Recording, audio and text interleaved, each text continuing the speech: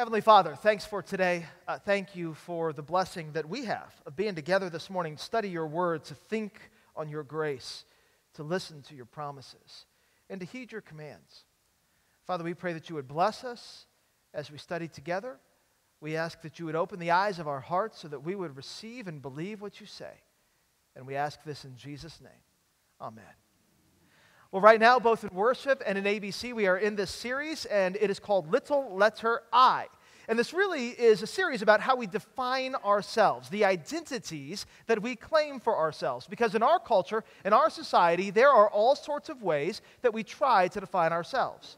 We try to define ourselves by the money that we make, or the job that we hold, the philanthropy that we engage in, the grades that we get, the gender that we claim, the race that we're born into. We got all sorts of different ways that we try to define ourselves. Now, the Bible says out of all the different ways that we have to define ourselves, really, there is only one highest and best way to define ourselves, and that is the way of Christ. First and foremost, we are to define ourselves by our relationship to Him. Paul says in Philippians chapter 3, beginning at verse 7, But whatever were gains to me, I now consider loss for the sake of Christ. What is more, I consider everything a loss because of the surpassing worth of knowing Christ Jesus my Lord, for whose sake I've lost all things. I consider all that other stuff garbage that I may gain Jesus Christ. Here's what Paul is saying all the stuff that I used to use to define myself before I knew Jesus, all of the gains, all of the accomplishments, all of the works, all of the prestige that I would claim for myself, I consider all of that garbage because, first and foremost, here's what I want people to know about me I am saved by Christ, I am loved by Christ, I am redeemed by Christ. That's what Paul wanted people to know about him. Here's the question What do we want people to know about us? Now, today, as we continue our series, we're going to be talking about how a lot of folks in our day and in our age define themselves by their work, by their career, by their job. And the more I've been thinking about this topic, the more I've come to realize that we really do live in a culture that defines people according to their jobs, according to their work very first weekend of this series, during the children's message, Pastor Tucker asked the kids a question as part of the children's message. The question was this What do you want to be when you grow up? Now, this is a question, right, about our work. We're asking a kid, okay, if you were to pick a career right now, even though you're little, what career would you pick? But notice, we don't ask the question in terms of what they do. We don't say, what do you want to do when you grow up? We say, what do you want to be when you grow up. Why? Because in our society, our identity gets conflated with our work. Who we are becomes synonymous with what we do.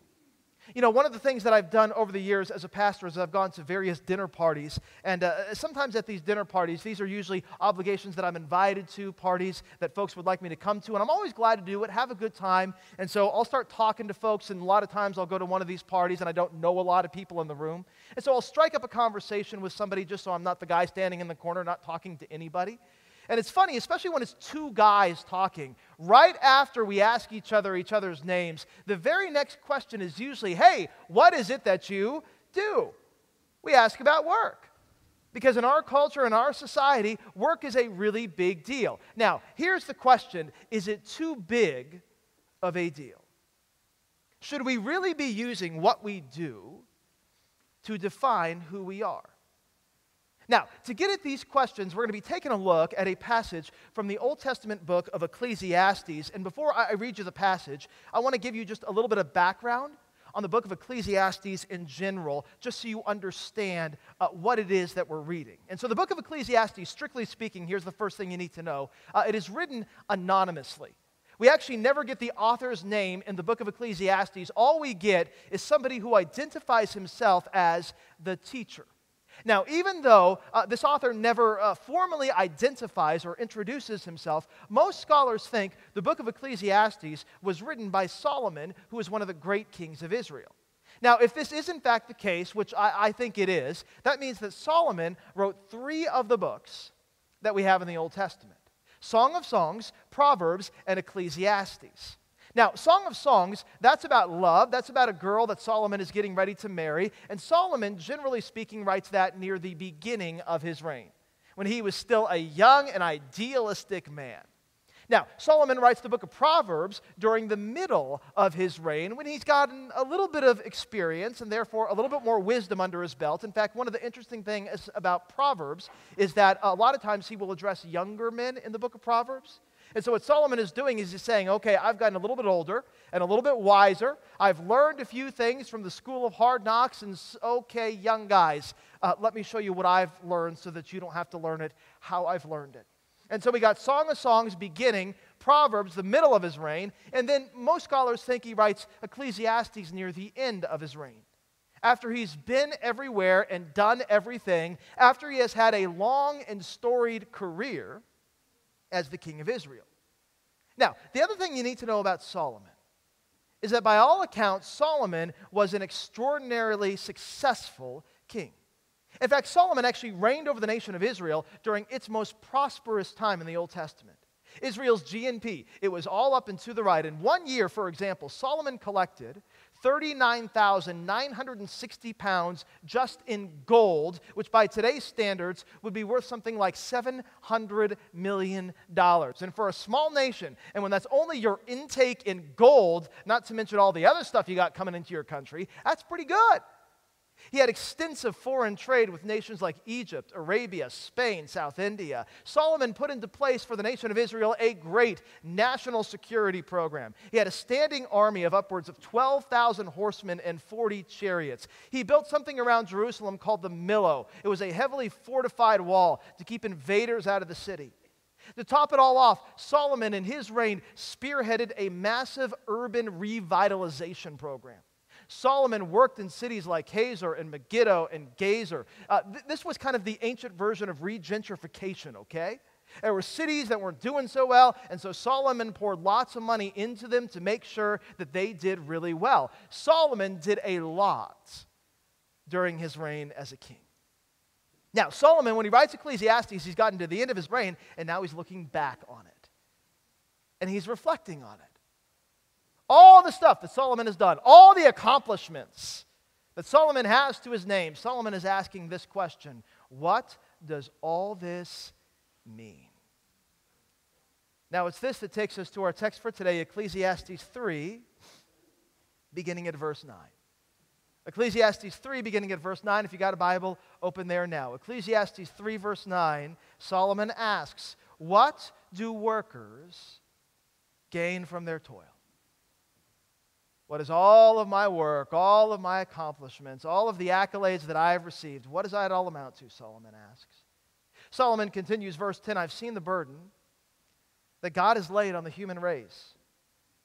He's made everything beautiful in its time. He's also set eternity in the human heart, yet no one can fathom what God has done from beginning to end. I know that there is nothing better for people than to be happy and to do good while they live that each of them may eat and drink and find satisfaction in all their toil. This is the gift of God. I know that everything God does is going to endure forever. Nothing can be added to it, and nothing can be taken from it. God does this, Solomon, so that people will fear him. That's our text for today. Now, here's what I want to do, okay? Very simple in today's ABC. That's, that's the whole text we're going to be looking at today. I want to try to take three things away from this text that Solomon teaches us about work because I think we can learn a lot about work from Solomon. And so today we're going to be looking at three things. Number one, we're going to start off by looking at the blessing of work. Number two, we're going to move from the blessing of work into the burden of work. Number three, then, we're going to finish up by talking about the basis of work. So, the blessing of work, the burden of work, and the basis of work. I've told you where we're going before we've even gotten going, okay? And so, let's get, get going here with the blessing of work. We'll start there. Here's what you need to understand about work and Solomon Solomon does conceive of work as a blessing he does conceive of work as a gift from God. Notice what Solomon says at the very beginning, verses 9 and 10. Solomon says, What do workers gain from their toil? Well, this much I know. I've seen the burden that God has laid on the human race. Who is it that gives the human race work? God gives the human race work. If you skip forward a few verses to verse 13, Solomon says that each of men may eat and drink and find satisfaction and all of their toil. This is the gift of God. In other words, for Solomon, work is a gift, work is a blessing, work is a good thing. Now, part of the reason this is so important is because this is in stark contrast to the conception that the ancient world had of work. The ancient world, most of them did not consider work to be a blessing, they considered it to be a curse. They did not consider it to be a gift from God, they considered it to be a brutal punishment from the gods. Uh, there's something, some of you may have heard of it before, called the Enuma Elish epic. It's an old Babylonian creation myth. It was discovered in the 1800s, written on these clay tablets. And one of the things the Enuma Elish epic talks about is the origin of work. There's this god in the Babylonian pantheon of gods. His name is Marduk. And, and he's talking about the creation of human beings. And this is what he says He says, Blood I will compose, and I will bring a skeleton into being. I will produce a lowly, primitive creature. Man is going to be his name, an earthly puppet man. That's what he wants. Someone to be charged with service that the gods may then have what? Rest. Okay, why do the Babylonian false gods make people according to the Enuma Elish epic so that the gods don't have to do work? That way they can just give it to people. This is the way the ancients conceived of work. Work was not something you wanted to do, work was something you wanted to get out of. Work was never a gift, work was only a curse. Work was never a blessing, work was only a problem. Another creation myth, this one from the Greeks. Guys, remember the story of Pandora's box? This one is from about 700 BC. Story of a girl named Pandora, who is actually the first woman who was created by the Greek pantheon of gods. The story goes uh, that when Pandora was created, there was a, the kind of the chief of the Greek pantheon of gods. His name was Zeus.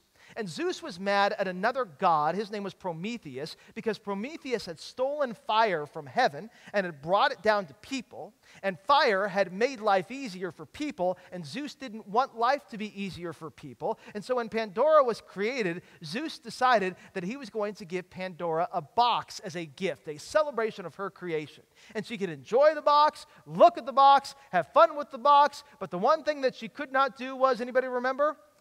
Open the box. Now, you know how reverse psychology works, right? As soon as Zeus says, don't open the box, what does Pandora do? She opens the box. And when she opens the box, all sorts of evil, bad stuff flies out of the box, and that's how evil gets into the world. Now, you want to know one of the things that flew out of Pandora's box, according to the myth work. Work flew out of Pandora's box. Because according to the Greek myth, work is part of the sinfulness and fallenness and brokenness of the life that we live. By the way, just kind of a side note here, just because this is kind of interesting. Uh, there was one good thing that Zeus put in Pandora's box. Now, according to the story, uh, all the bad stuff flew out of Pandora's box, and then Pandora shut the box as fast as she could, and she left the one good thing that was in the box in the box. You know what that one good thing was, according to the story? Hope. Kind of interesting, huh? Get all the bad stuff from Pandora's box, and the one good thing that could have flown out of the box gets locked in the box.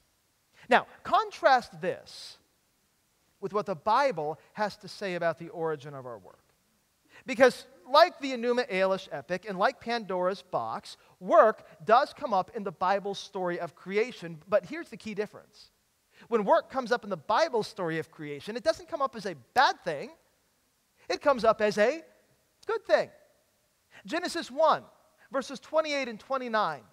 God is talking to the first people on earth, and he says this Be fruitful and increase in number, fill the earth, subdue it, rule over the fish of the sea and the birds in the sky, over every living creature that moves on the ground.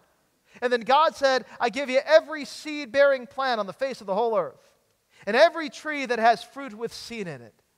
All of these are going to be yours for food.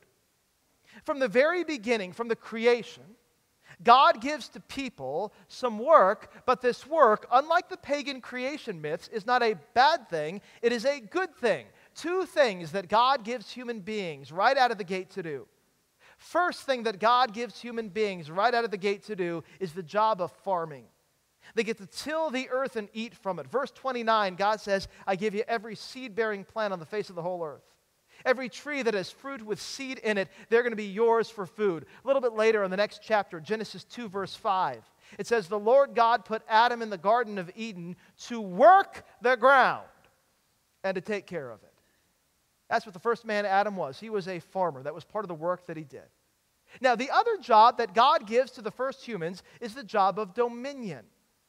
God says, Genesis 1, verse 28, rule over the fish in the sea and the birds in the sky, over every living creature that moves along the ground. Now, notice, notice here what God puts human beings in charge of. He puts them in charge of the fish in the sea, and the birds in the sky, and every living creature that moves along the ground. Now, when you put those three things together, because the, the, Bible's doing something here the sea, the sky, and the ground how much of creation does that cover, at least right here on the earth? It covers all of it, which is the point. When God makes Adam and Eve, He puts them in charge of the whole earth. He wants them to have dominion over all of creation. This year, Apple is opening a new campus in Cupertino, California. Uh, their company's gotten so big that the current site is too small, and so they're building a, a second campus. And by all accounts, this is going to be a very impressive campus. Here's the latest picture I could find of it. Uh, it sits on a site that is over 176 acres. The building is going to have 2.8 million square feet. It's going to house about 13,000 employees. Now, think about this for just a second, okay? Apple's new building is going to have 2.8 million square feet of space in it. The square footage of the earth is actually not just square footage, but in square miles 57,308,738 square miles. Apple's new building is going to have about 13,000 employees to work it and take care of it, that 2.8 million square feet of space. Now, when it comes to 57,308 uh, uh, 57,308,738 square miles. When God first made people, you know how many people had to take care of all of that? One man. One man. Now, this actually gives some insight into why God says in Genesis 2, verse 18, it is not good for the man to be alone. I'm going to make a helper that is suitable for him. God knows that Adam, if he's going to take care of 57,308,738 square miles of space, he's going to need someone who can get the job done. So he makes a woman, right? That's the way that works. All of a sudden, you get it. Now, this creation story says something about the value of work.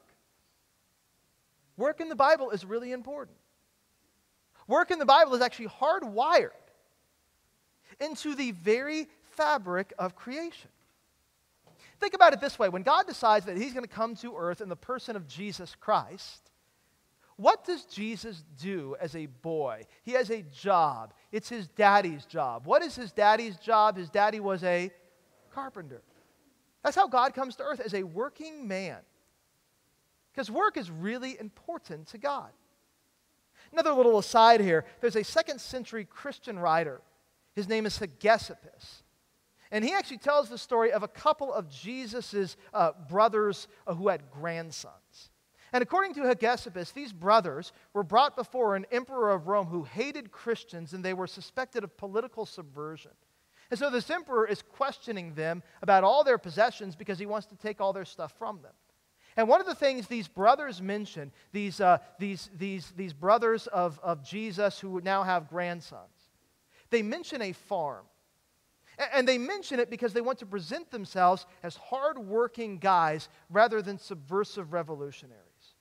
Now, part of the reason this is so important is because these brothers who owned this farm, this was, it turns out, a family farm. And Jewish tradition said that no matter how many kids you had, you wouldn't just divide up the property, you would keep the property and just own it jointly, which means that these brothers had it passed on from their dad, who had it passed on from their dad, who happened to be a brother of Jesus, and it was owned in the family even at that time. So that meant that not only was Jesus and his dad, Joseph, a carpenter, carpenter, Jesus and his dad, they were also farmers. In other words, they not only had one job, they had two jobs. You see, work is something that is really important to God. So much so that even his son, Jesus Christ, from his very birth, was a hardworking man. Now, part of the reason that this becomes very important and practical for us actually goes to the heart of something that was very important during the Reformation in the 16th century. Because, in general, in the 16th century, work was important, but not all work was important. There were two categories of jobs in the 16th century. There were sacred jobs, think the job of a priest or the job of a monk, the job of a nun, someone who worked in the church. And then there were secular jobs, think the job of a lawyer or the do- job of a doctor, the job of a factory worker in our day and age. And in the 16th century, most people had a really high view of work that was considered to be sacred and a really low view of work that was considered to be secular. Now, what the reformers did was that they began, as they studied Scripture, to look at the work that was done in the Bible, and here's what they realized they realized that Adam was a farmer, Jesus was a carpenter and a farmer. Zacchaeus, he was a tax collector. How many of these jobs would be classified as sacred jobs? Any of them? None of them. And yet, this was the kind of work in the Bible that was exalted. This was the kind of work in the Bible that was celebrated. This was the kind of work in the Bible through which God worked. And so, what the reformers did is they got rid of the distinction between secular work and sacred work, between good work and bad work, and they said all work can be God's work. Because all work is important to God. God made it all. Pastor read this a couple of weeks ago as part of worship. It's worth reading again. Martin Luther says this All of our work, doesn't matter where it is in the field, in the garden, in the city, in the home, in the struggle, in the government. To what does it all amount before God except child's play, by means of which God is pleased to give his gifts in the field, at home, and everywhere? God's working through all work. These are the masks of our Lord God behind which he wants to be hidden and do all things. Luther's saying that lawyer that you talk to, he's a mask of God. God can work through him. That doctor that you see, he's a mask of God. God can work through him. That farmer that you meet, she's a mask of God. God can work through her. Your garbage man who comes in and picks up your trash once a week, guy's a mask of God. God works through him. All work is important to God. And that means that God wants to work through all work. In fact, just one more note on this, okay? In the New Testament, Paul actually writes quite a bit about work because work is a big deal in the Bible. And one of the jobs that Paul writes about in the New Testament is the job of slave. Ephesians 6, beginning at verse 5, Paul says this Slaves, obey your earthly masters with respect and fear, with sincerity of heart, just as you would obey Jesus Christ Obey them not only to win their favor when their eye is on you, but obey them as slaves of Christ, doing the will of God from your hearts. Serve wholeheartedly as if you were serving the Lord and not people, because you know that the Lord is going to reward each one of you for whatever good you do, whether you are slave or free. And masters, I want you to treat your slaves in the same way. Don't threaten them, since you know that He is he who is both their master and yours is in heaven. And there is no favoritism with him. Paul here, he's writing about work, and it's kind of interesting the job that he picks up on. He doesn't pick up on the job that would be considered really good in the ancient world. He picks up on a job that we, would be considered the worst in the ancient world, which is the job of slavery. And it's interesting how Paul talks about slavery here.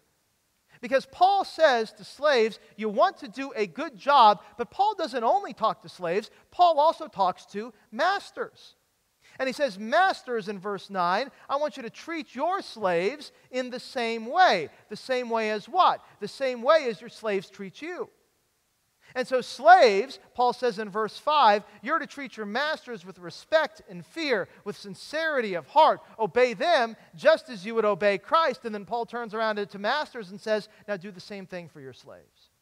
Treat your slaves, masters, with respect and fear, with sincerity of heart. Listen to them, even obey them just like you would obey Jesus Christ.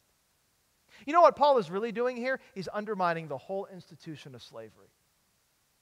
He's making the ground level between masters and slaves, workers and managers. He's saying it doesn't really matter if you're a master and you're at the top of the food chain or you're a slave and you're at the bottom of the food chain. All work is God's work. And so, even if you got a job that looks terrible, even if you got a job where everybody looks past you, doesn't care about you, thinks that you failed rather than you've succeeded, your work is precious in God's sight. Your work matters in God's sight. Now, this goes straight to the heart of how we treat each other as workers. In our day, we don't have masters and slaves anymore, thank God. But the principle of that playing field being kind of leveled and how we treat each other, that endures. If you're a white collar guy, treat the blue collar guys with dignity and respect, or do you look right past them? If you're a blue collar guy, do you treat the white collar guys with dignity and respect, or do you grumble about them because you know they're your bosses? You don't really want to deal with them. All work matters to God. Slave and master, blue collar, white collar, all work is a gift from God. God, God, God wants you to do your job because God gave to you your job. Are you doing that well? Do you treat your work like it matters to God? Work really is a blessing. That's point number one. Now, point number two here's the downside. Let's talk a little bit about the burden of work. Look again at what Solomon says in Ecclesiastes 3, verse 10. He says, I've seen the burden that God has laid on the human race. Notice the word that Solomon uses for work in this verse. He uses the word burden. Work is a burden. In Hebrew, this is the word inyan, and this carries with it the sense of not only just work, but sometimes even bad work, troublesome work, toilsome work, hard work. Ecclesiastes 4, verse 8, Solomon says, There was a man who was all alone. He had neither son nor brother. There was no end to his toil, yet his eyes were not content with his wealth. For whom am I toiling, he asked himself, and why am I depriving myself of my enjoyment? This is meaningless, and then notice what Solomon says about this guy's work. It's a miserable business. Hebrew word here for business is this word inyan, the same word that Solomon uses for a burden in Ecclesiastes 3, verse 10. Sometimes work is miserable business. Ever felt that way? Ever had a bad day at the office? Talk about work being a blessing. Does your work feel more like this? Like a burden? You know, work is also a burden according to the Bible. This actually takes us back to the creation story. Because even though work was created to be a blessing, even though work was meant to be a gift of God, work got twisted because of sin. Remember, God says to Adam and Eve, okay, I want you to farm the Garden of Eden. Go ahead and farm it, take care of it, till it, sow in it, eat from it. But there's this one tree in the center of the garden. That's the tree that's off limits to you. You cannot eat from this tree, the tree of the knowledge of good and evil. Farm everything else, but leave that tree alone. What do Adam and Eve do? They eat from the tree of which God had told them, You shall not eat.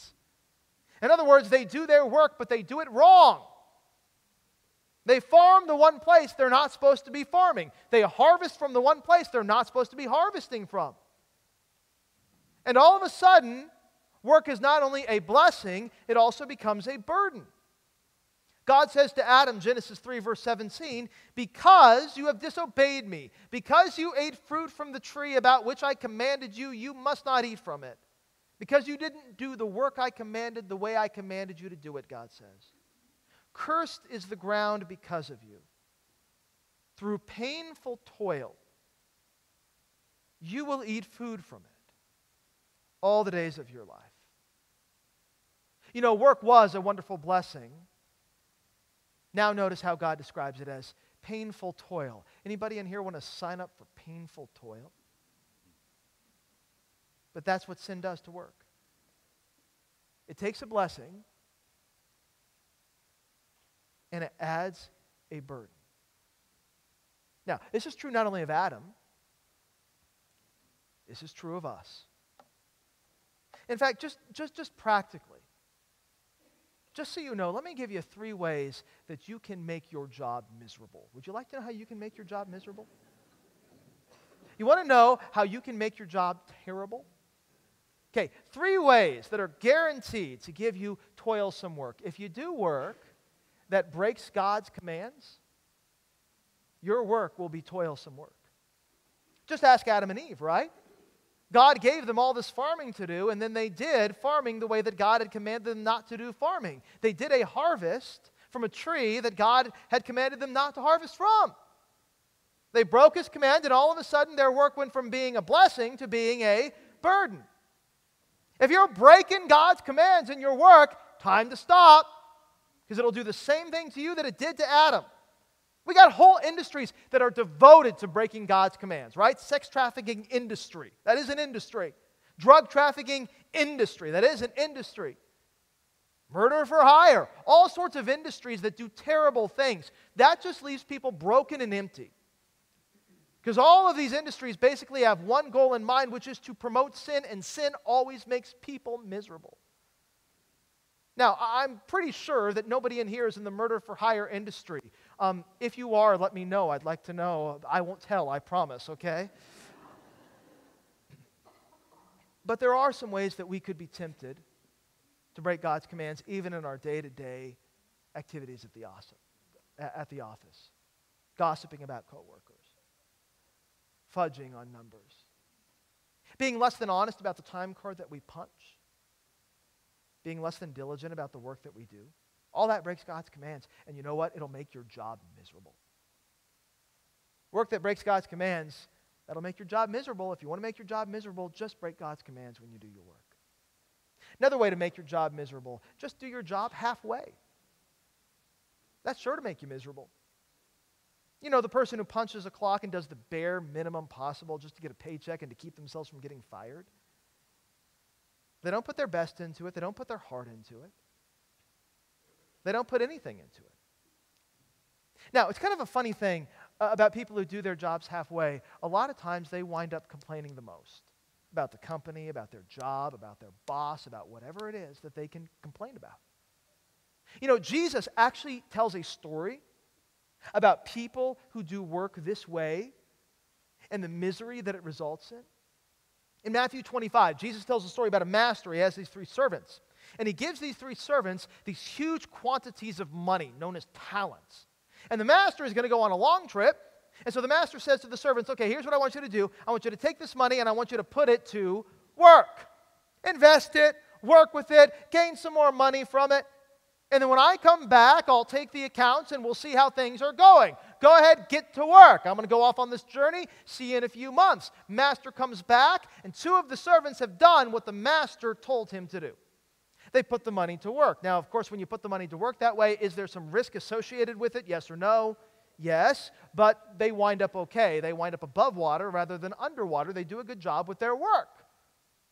But the third servant, to whom the master had given some money, this guy decides, you know what, I'm not going to take the risk. So I'm not going to do any work with the money. I'm just going to bury the money. That way I will have the money when my master gets back. Is the master very happy with this third servant who hasn't done his work well? Yes or no?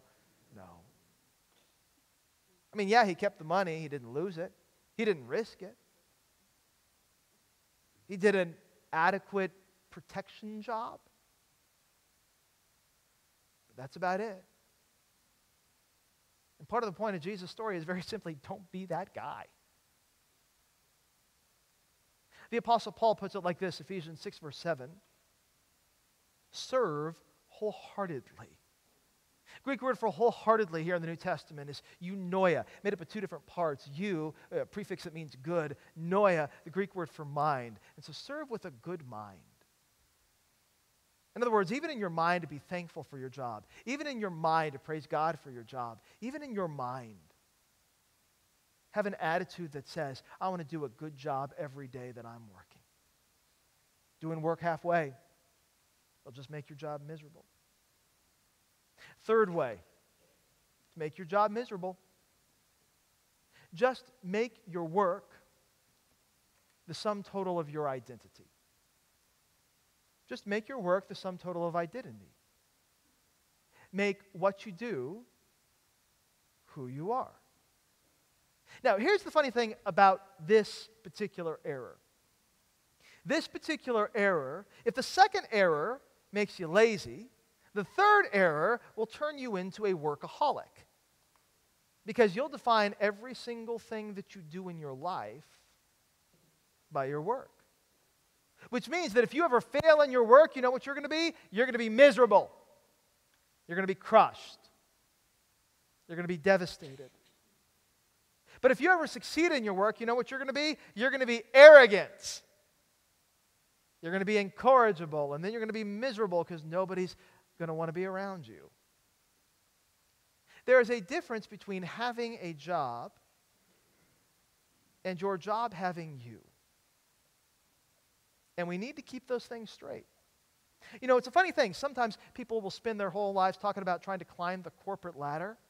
And I've always found that philosophy kind of interesting because here's essentially what you're saying you're saying, I'm working because I want to do more work, right? I'm not working to help. I'm not working to serve. I'm not working toward a goal of making this world a better place. I'm just working toward the goal of doing more work. If that's the highest aspiration that you have, you may want to reconsider that aspiration because all of a sudden your work has become your identity. Now, I'll tell you what, out of all the different ways that we can ruin our lives with work, this may be the most tempting. But I'll tell you what, it can also be the most devastating. I want to give you three biblical examples of people who tried to define themselves by their work. And then you tell me how these examples turn out. So we'll start here. You guys remember the story of the Tower of Babel? The people of earth, they get together and they do some work. It's a big construction project. They want to build a really tall tower. Now, when they build this really tall tower, God looks down from heaven and he gets upset and so he stops their construction project by confusing their languages so they can't talk to each other anymore to complete the project, hence the name Babel, because that's what the languages sound like now. Now, here's the key. Does anybody remember why God gets so upset that they are building this really tall tower? Is it because uh, they're not meeting certain safety standards and God is worried that the tower is going to fall down? Is that God's problem?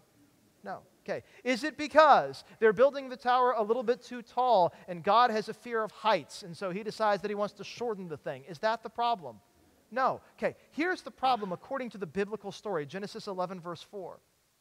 When the people are making their plans to build this tower, when they're drawing up the blueprints, here's what they say They say, Come, let us build ourselves a city with a tower that reaches to the heavens. And then here's the key so that we may make a name for ourselves.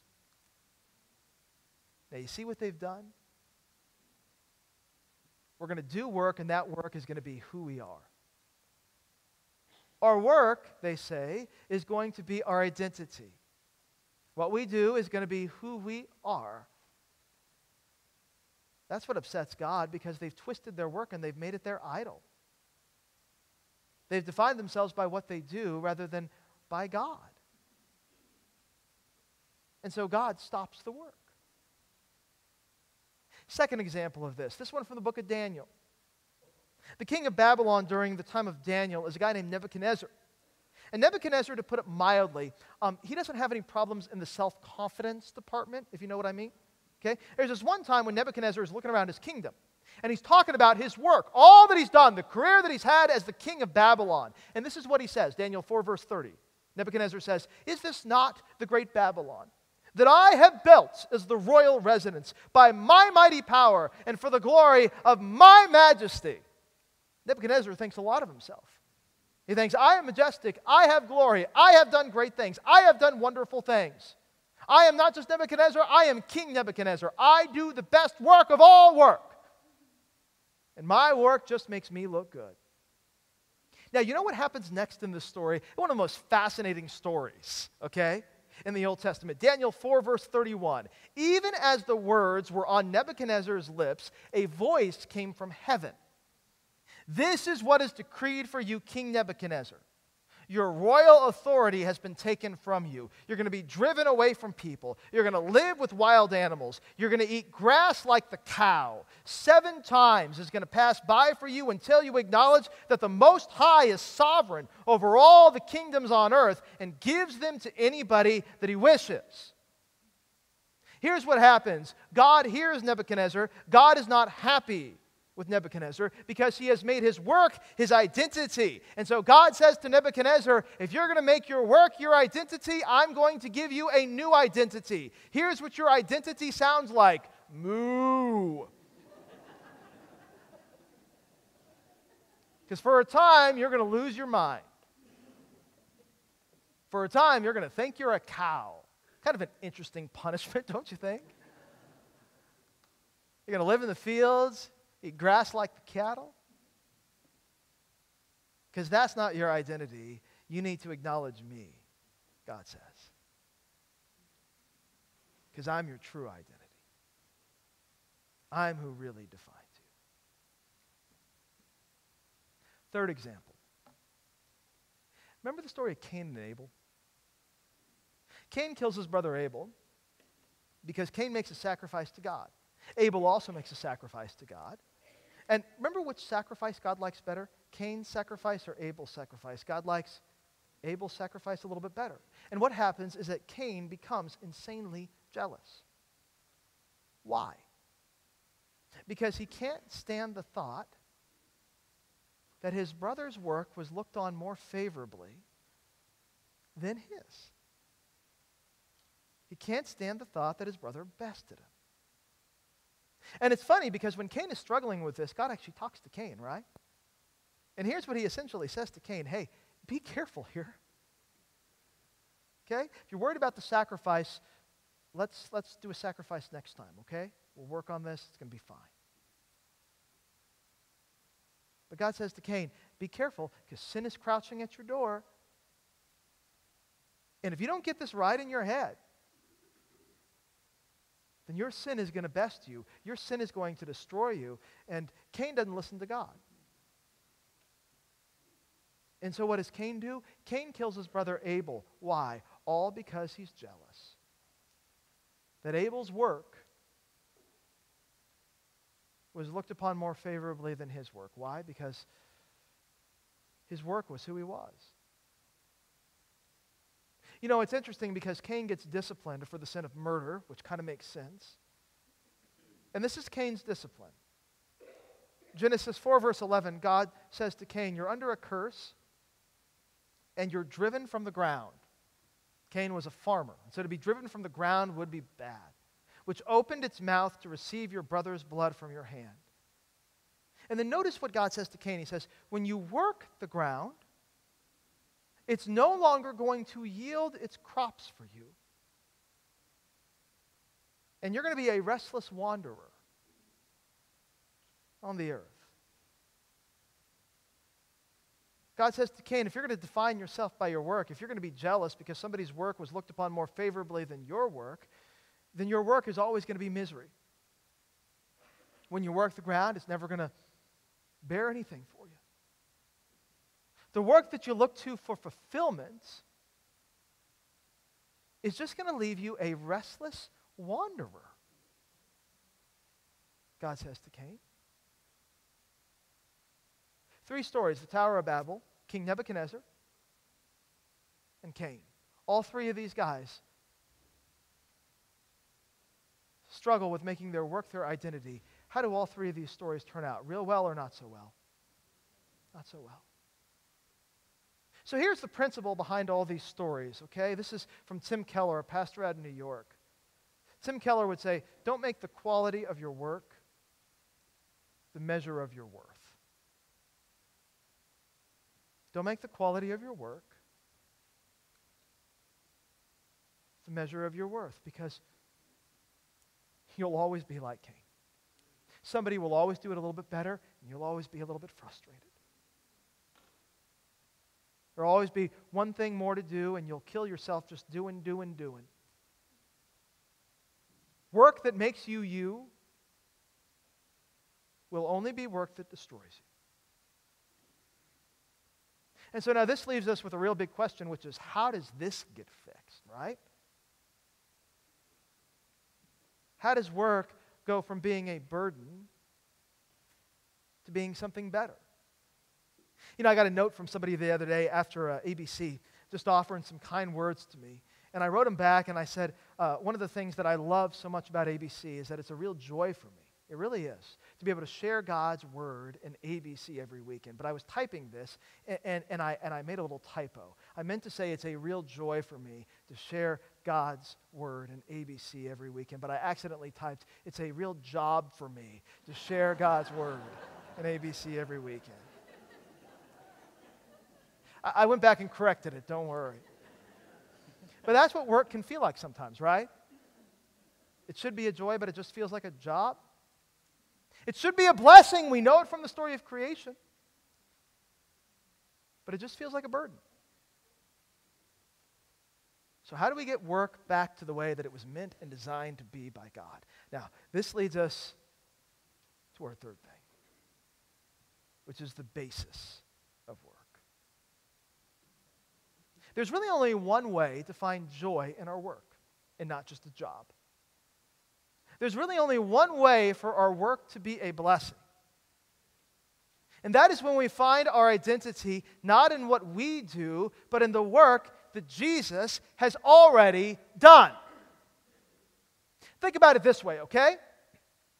When Cain was cursed, one of the curses that God gave to Cain was that he was going to find no satisfaction in his work. He was going to be a restless wanderer on the earth.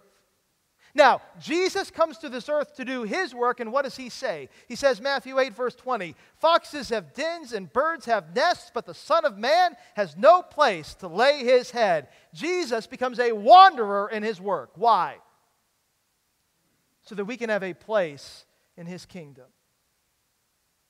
Or when Adam is cursed because he breaks God's command in his work, what does God say about Adam's work? God says, Adam, your work is going to be thorny. Genesis 3, verse 18 the ground is going to produce for you thorns and thistles. Then along comes Jesus, and what does his work involve? It's thorny.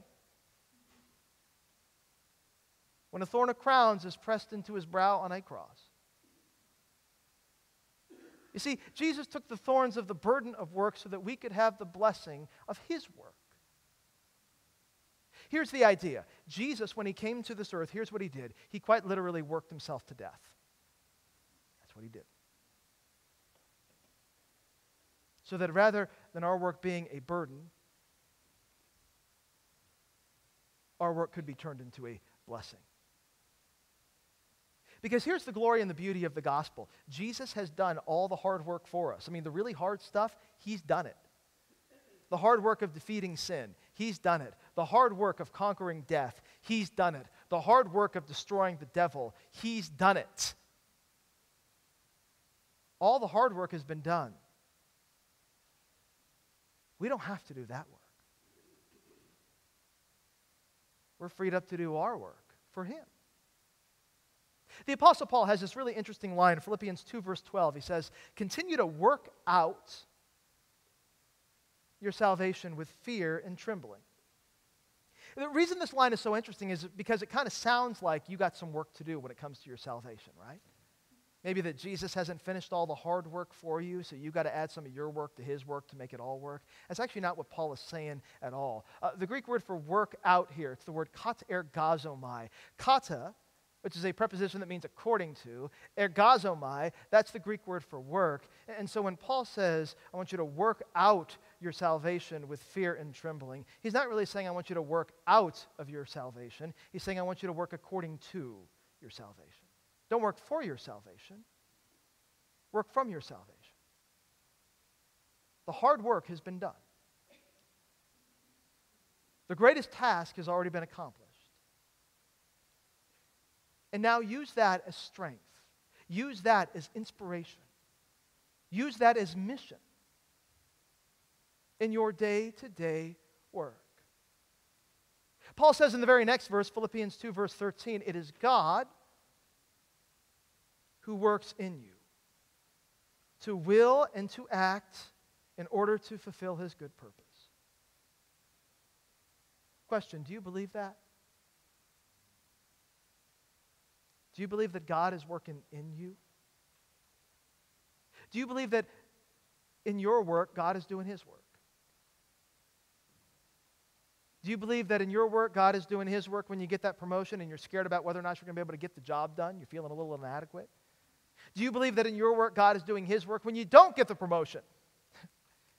and you wonder if you're ever going to move in the company? Do you believe that in your work, God is doing His work? When you have a really tough job and you wonder how long you can keep on doing it? Do you believe that in your work, God is doing His work when you get fired from your job? And you're scared because you don't know if you're going to be able to put food on the table. Do you believe that God is working in you, in your work, God is doing His work? You know, the first job that I ever had, I was in high school, and I was a DJ for a Christian radio station. Over the course of my life, just so you know this about me, um, I've only held two jobs, okay? A DJ, I've been DJs at several different radio stations, and I've been a pastor now, of course. Never worked in food service, never worked in construction, anything like that. The only thing I've ever been paid to do in my life is talk, which is kind of scary when you think about it, okay? but there's this one day, there's one day that uh, I had to go to work after school. I was in high school at the time when I, when I had this first job. And I was in a hurry to get out the door because I knew that I had to get to work and I was going to catch the bus home and my mom was going to take me to the radio station because I didn't have my driver's license yet. And, and so I run out the door after school. Now, this was in the middle of January in Portland, Oregon, where I grew up, and it had snowed the night before, but the sun had come out, so there was this mushy, muddy, icy slush that was outside all over the sidewalk. And so I go running and I go slipping and I go sliding and I go falling. And it really, really hurts.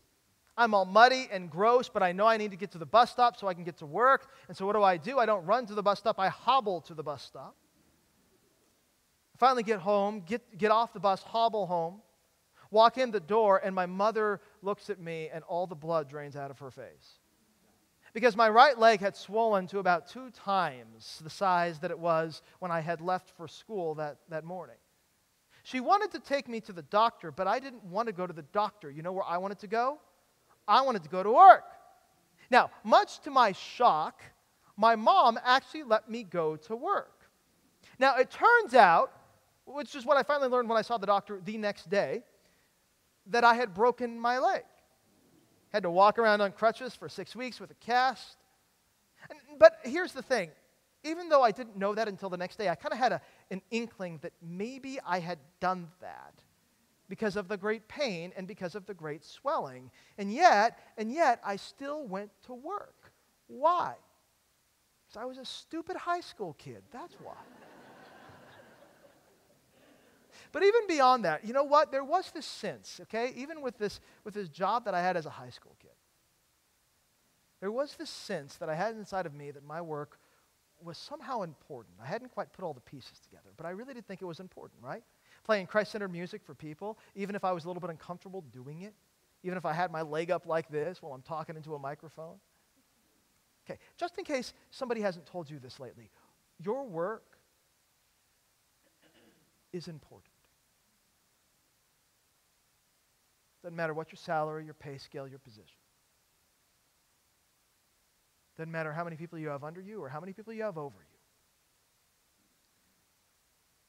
Your work is important. But it's not important because you're really good at what you do. Just like it's not worthless if you're really bad at what you do. Your work is important because through your work, the one who has done the most important work on the cross is working. And he's the one who makes your work good work. And that is why we are called to get to work. Take that with you to the office on Monday, okay? Let's stand and pray. Uh, Heavenly Father, there's a lot to do in this world. We work jobs, we work at home, we run errands, we have to do lists, we keep calendars. Heavenly Father, help us never to be lazy, but also never to make all that stuff our identity. Father, we thank you for your Son who's done the greatest work so that rather than working for salvation, we can work from salvation. Rather than trying to work out eternity, we can work out of eternity, knowing that the greatest work has been done for us. We thank you for that. And we pray that in light of that, that we would be able to do our work with confidence and joy. We ask it in Jesus' name. Amen. Have a good week. Walk with light.